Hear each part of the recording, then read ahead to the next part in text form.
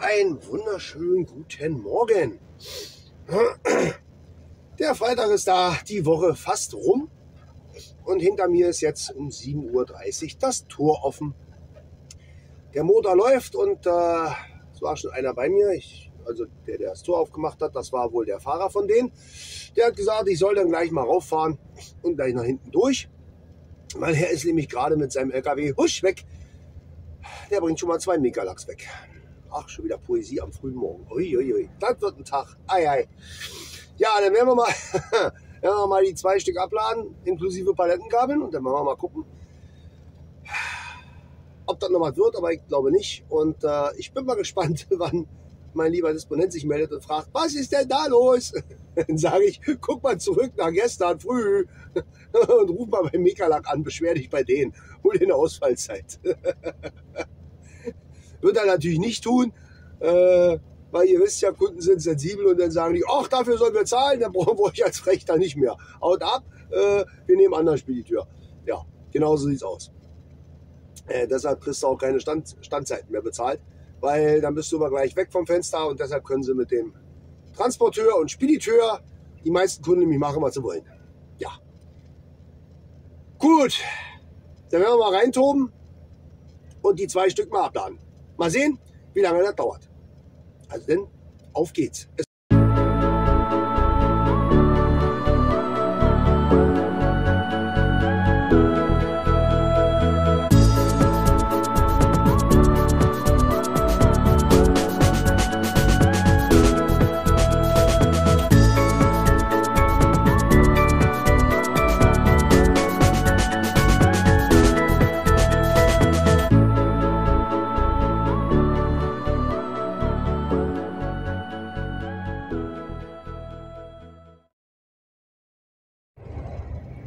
Leute, da sind wir wieder weg. Wir sind schon auf der Autobahn wieder. Ich habe mich schon mal rausgekämpft. Ja, dreiviertel Stunde abladen. Wir haben es jetzt 8.37 Uhr. Ich bin da um 8.30 Uhr weggefahren. Äh, war ja um äh, 7.35 Uhr irgendwie so drauf. Ja, die Uhr sagte irgendwie dreiviertel Stunde haben wir abgeladen. Also Arbeitszeit.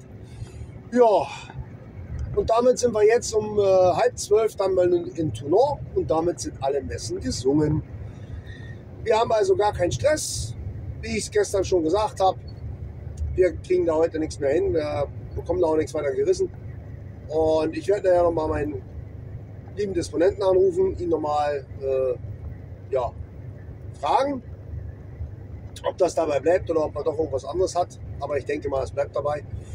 Ja, und dann machen wir Montag da weiter. Dann ist das heute ein extrem kurzer äh, Freitag. Ja. Wir sind ja bloß drei Stunden, aber wir fahren ja Loriol runter. Ich will ja da noch ein bisschen AdBlue zupacken. Wir haben ja nur noch 19% drin. Das ist ein bisschen mau. Und äh, von Loriol aus werde ich dann gleich die Nationalstraße hochfahren nach Toulon. Das dauert dann ein paar Minuten länger. Das ist ja dann völlig egal. Ich brauche dann aber nicht mehr die Autobahn hochrasen äh, und dann über Hermitage da durch Toulon, sondern da komme ich gleich von unten rein in das Gewerbegebiet, wo ich sowieso immer stehe und brauche nicht wieder durch den Ort wieder zurück. Ja, und deshalb werden wir dann ab Loriol dann nur noch nationale Fahrten. Gibt da wieder ein paar andere Impressionen, immer schön an der Rhone lang. Ach, das ist schon eine schöne Gegend hier unten. Das Einzige, was mich immer so ein bisschen abnervt, ist dieser ständige Wind und du hast überall Sand und Staub und überall trampelst du mit Staub rum. Das sind so die Sachen. Oh, das ist so wie, wenn du an der Ostsee und Nordsee bist. Du machst die Tür auf, kriegst den Wind in die Fresse, den Regen in die Fresse und das ist nicht meins. Nee, überhaupt nicht. Morgens Tür auf, Klatsch. Will ich nicht, brauche ich nicht. Es soll ruhig anfangen. Manometer. Ja, naja. Also dann auf Richtung Lyon. Das ist ja die grobe Richtung, wo die Autobahn N7, äh, A7 ja hochgeht. N7 kommt ja erst viel später. Jetzt erstmal A7.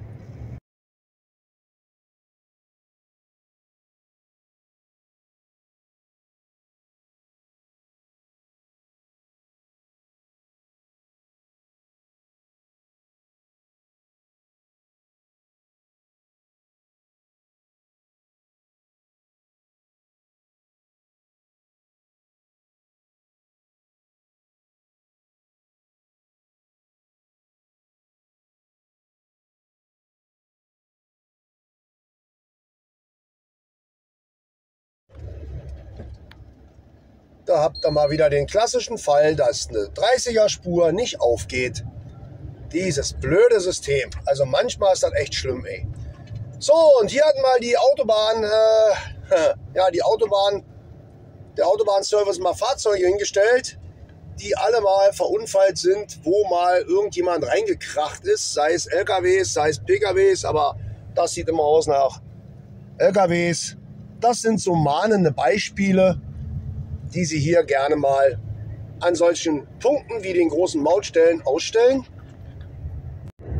um die Leute mal so ein bisschen zu sensibilisieren und denen mal klar zu machen, fahrt doch mal ein bisschen sinniger und ein bisschen vernünftiger. Ihr seht, ihr bringt uns damit in Gefahr. Da hängt ja auch unser Leben mit dran, denn wir arbeiten hier für euch auf der Autobahn und äh, seht euch an, was hier für Mehrkosten entstehen ähm, die ja dann durch die Autobahngebühr wieder reingeholt werden müssen. Ja, ich finde das immer ganz gut. Man findet das auch manchmal auf irgendwelchen Raststätten. Da stehen dann so ein, zwei, drei Stück und die sind dann auch teilweise eingezäunt, damit halt die Leute da nicht reinklettern, weil sie ja alles erforschen müssen. Also ich finde das schon eine ganz gute Aktion, dass die dann immer wieder mal ihren Schrott so ausstellen und den da auch jahrelang stehen lassen. Aber ich denke mal, wenn du da zwei, dreimal vorbeigefahren bist, interessiert dich das auch alles nicht mehr. Dann ist das auch alles völlig egal. Äh, denn wie man ja sieht, fahren die hier auch nicht gerade immer so gut oder rücksichtsvoll oder langsam, wie auch immer. Denn man sieht ja anhand der Fahrzeuge, dass hier auch immer wieder schwere Unfälle geschehen. Wobei ich hier in Frankreich ehrlich gesagt noch nicht so viele Lkw-Unfälle gesehen habe, die so schwerwiegend und verheerend waren, wie ich die schon bei uns in Deutschland A gesehen habe, beziehungsweise auch gehört habe in den Nachrichten. Ähm, das muss man mal ganz klar sagen. Aber hier, also irgendwie scheint das, obwohl die wilden Spanier hier durchfahren und alle anderen Nationalitäten, die nach Spanien wollen, geht das anscheinend immer noch ganz gut. Ja. Ja, mittlerweile haben wir 13 Grad hatten wir vorhin schon, wo ich aufgestanden bin. Also die Temperatur im Moment unverändert. Angenehm, aber wir fahren ja nachher hoch. Ich denke mal, da wird das Wetter nicht mehr ganz so, ganz so gut sein. Kann nämlich sein, dass da oben wieder ein paar Wolken sind. Deswegen ist das hier, unten immer so schön. Du hast ein bisschen das Klima vom, vom Meer und da oben, da oben hast du das Klima von den Bergen. das brauche ich ja nicht erklären. Gut. So viel wollte ich mal dazu sagen und euch das auch mal zeigen. Ähm, ich habe das nämlich gestern gesehen, wo ich durchgefahren bin und dachte, Mensch, heute nimmst du die Fahrzeuge mal auf. Kommst du nämlich direkt dran vorbei. Ja. Gedacht, gesagt, getan. Marsch, weiter geht's.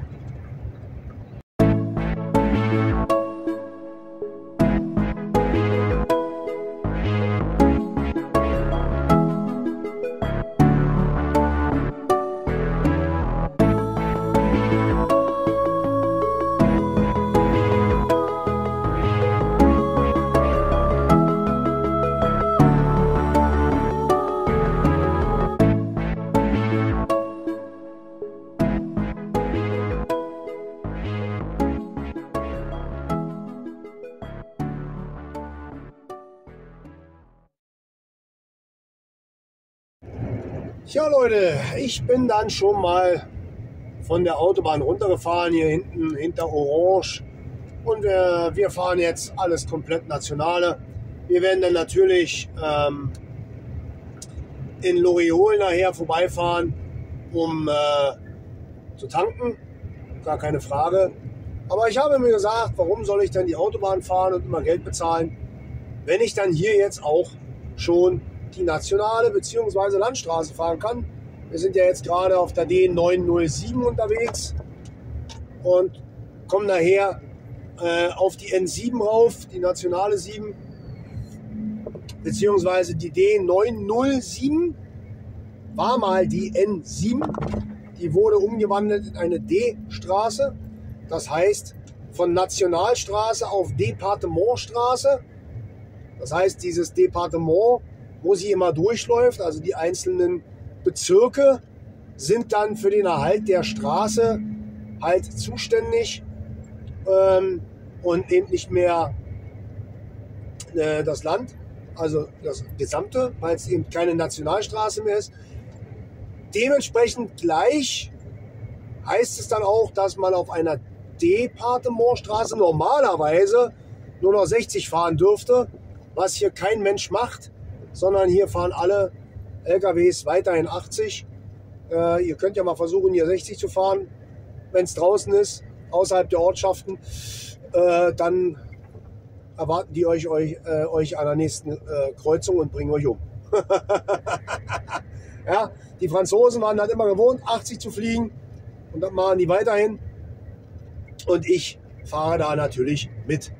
Da passiert doch nichts. Selbst die Gendarmerie macht da nichts, nicht mal was.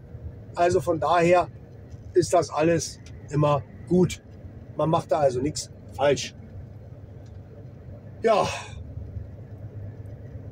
Und nun fahren wir auch gleich unter der Autobahn durch. Hier vor uns die Brücke, die da jetzt kommt. Das ist die A7, auf der wir ja gestern runtergefahren sind und auf der wir jetzt hätten auch wieder hochfahren können bis Loriol. Aber wir fahren jetzt hier drunter durch, genießen die Landstraße und brauchen auch dann bloß noch 2 Stunden 15 Minuten. Also wo ich runtergefahren bin, waren es zweieinhalb Stunden bis nach Tonon.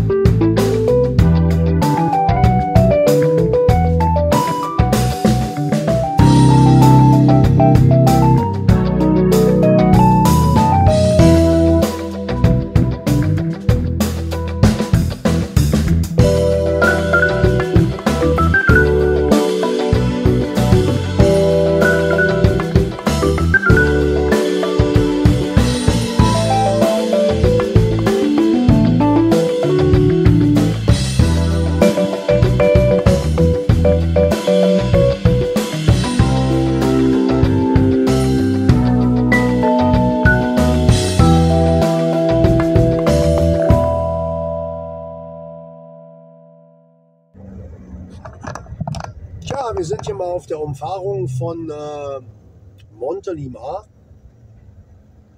und äh, können jetzt äh, von hier aus auch gleich direkt hochfahren nach Loriol und folgen jetzt der N7. Und wie man sieht, haben die hier halt auch mal ein Flugzeug ausgestellt, wieder so einen kleinen Yachtbomber. Wir kennen das ja von Schweden noch. Da hatte ich auch mal ein paar gefilmt. Da sind welche noch unterwegs mit ihren Autocross-Geräte da. ja, also ihr seht, das ist schon wieder kurz vor zwölf und es ist schon wieder viel, viel Verkehr hier. Gerade die Kreisverkehre, davon hat man ja hier reichlich auf den Landstraßen. Ah. Aber man gewöhnt sich ja an alles und die gehören halt dazu. Und hier funktioniert das ja vom Fahren her besser als bei uns in Deutschland. Weil die Menschen hier ja wirklich damit groß werden. ja, dann fahren wir jetzt mal schön die N7 hoch bis Loriol und dann tanken wir da mal ein bisschen Blut zu. Bis dahin genießt noch ein bisschen die Landschaft.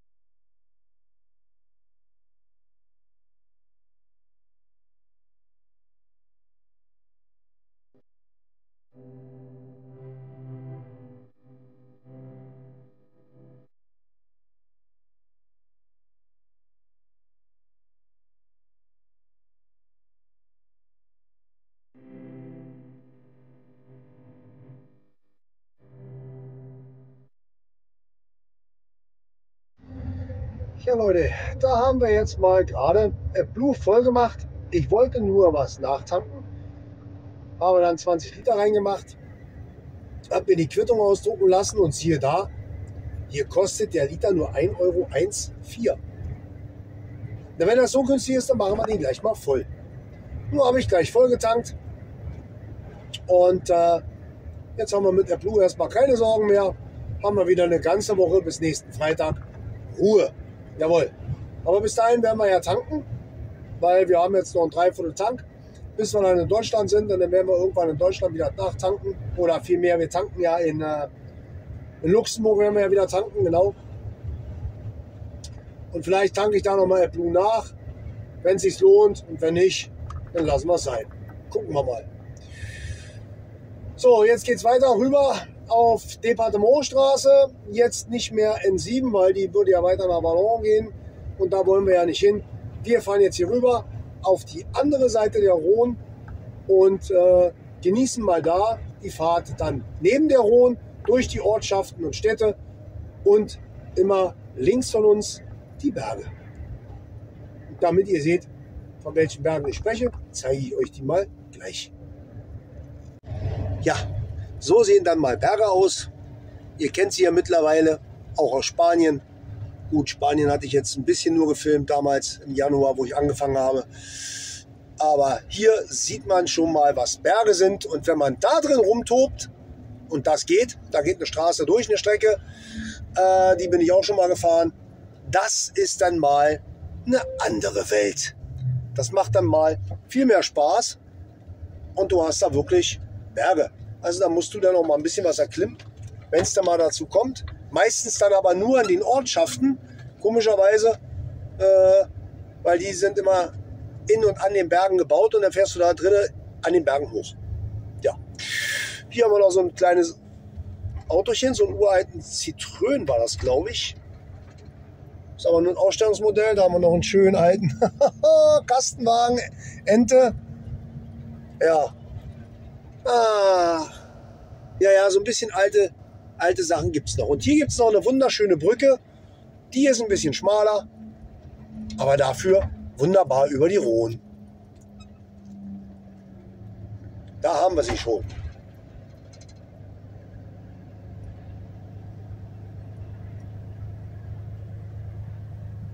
Ja, ganz schön ordentlich wilde Strömung.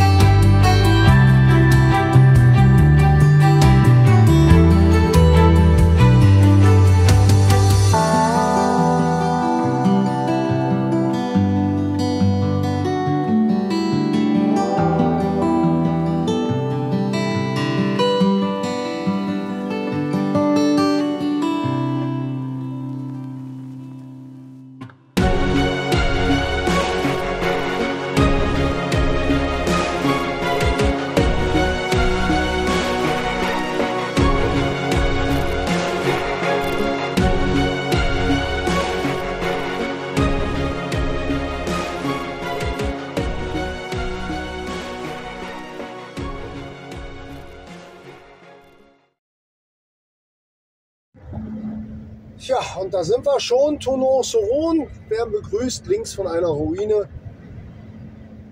Tja, es gab unterwegs viele Ruinen, viele leere Restaurants. Hier dieses Leclerc Drive hat man auch erst vor ein paar Jahren neu gebaut, wo die Leute per nur noch bestellen und dann packen die Leute und dann bringt man ihnen das raus zum Auto. Jawohl. Und wir fahren hier ins Gewerbegebiet und sind dann schon mal weg. So, wir nähern uns dem Ende. Hier ist auch noch ein Chinese. Da war ich aber noch nie drin. Da vorne gibt es noch einen Champion. Da gehe ich dann nachher gleich mal einkaufen. Ja, dann gibt es wieder Baguette, genau.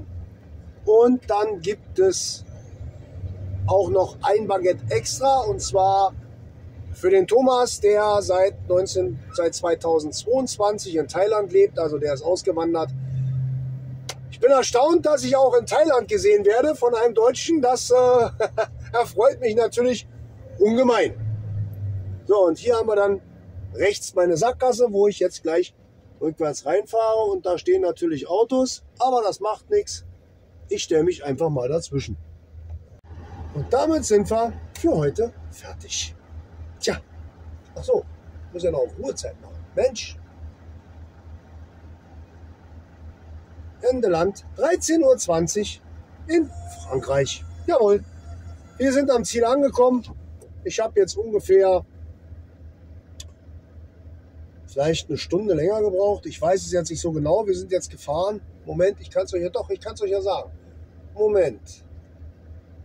2,43, eine Dreiviertelstunde habe ich jetzt länger gebraucht, wenn ich nur die Autobahn durchgefahren wäre, ohne in Loriol anzuhalten. Also da nochmal runter, wieder rauf, wäre nochmal ein paar Minuten gewesen. Also sagen wir mal, ich bin jetzt äh, circa 40 Minuten langsamer als äh, über die Autobahn auf diesem Stück. Denn man hatte ja nun doch wirklich sehr viele Ortsdurchfahrten äh, mit Kreisverkehre, mit Ampeln und allem drum und dran. Aber dafür habt ihr ja selber gesehen, gibt es viel mehr Stellmöglichkeiten. Man kann also überall stehen. Und ich hätte auch öfters mal einkaufen gehen können, wenn ich es gewollt hätte. Aber ich habe da vorne meinen Laden, den äh, Carrefour. Und da gehe ich auch hin. Und da vorne gibt es sogar äh, feststationierte Waschmaschinen und Trockner. Die sind vor dem Carrefour. Da ist so ein, ja, so ein Container hingestellt, zwei Container. Und da sind die aufgebaut oder drin aufgebaut, ja. Und da habe ich damals sogar schon meine Wäsche drin gewaschen. Ähm, ich glaube, 8 Kilo Trockner war damals drin und 5 Kilo Waschmaschine und sowas oder 8 Kilo, irgendwie so. Also alles so ein bisschen größer, weil nämlich am Wochenende auch hier viele Leute herkommen äh, bei diesen Waschmaschinen und dort ihre Wäsche waschen. Also anscheinend haben gar nicht so viele Franzosen eigene Waschmaschinen. Ja, das ist natürlich nicht schlecht. Hast hier einen guten Service vorne an, der, an dem Kreisverkehr, nicht da, wo wir reingefahren sind, sondern jetzt da raus praktisch ähm, hier geradezu, da ist ein Kreisverkehr, da gibt es eine Apotheke und ein McDonalds, was immer offen hat. Da hat man dann auch seine Toilette. so, was brauche ich denn mehr? Gar nichts. Brauche nicht mal eine Toilette normalerweise. Aber gut, da ist er, da ist er da und dann kann man es auch mitnehmen. Ja, und von hier aus in die Stadt ist dann halt ein kleiner Fußmarsch, aber der lohnt sich. Also Altstadt ist sehr interessant in Tonon. Wer hier mal vorbeikommt, sollte mal die Gelegenheit nutzen und sich das einfach mal anschauen. Gibt auch ein Museum, ist eine Festung, die ist oben auf dem Berg äh, in der Stadt hier direkt an der Rhone. Und jedes Mal, wenn ich da rein will, ist das Ding zu. Dann haben die immer irgendwelche komischen Öffnungszeiten oder immer nur Saison. Ich glaube nur im Sommer. Ich weiß gar nicht, ob die im Oktober noch offen haben oder ob die jetzt schon wieder zu haben. Vielleicht laufe ich ja am Wochenende mal in die Stadt. Und wenn ja, nehme ich euch mit. Ansonsten wünsche ich euch von hier aus, aus Tonon-Soron, ein wunderschönes Wochenende. Macht's gut, habt euch wohl und äh, wir sehen uns, wenn ihr wollt und wenn ihr könnt, am Montag dann wieder. Bis dann, oh. tschüss.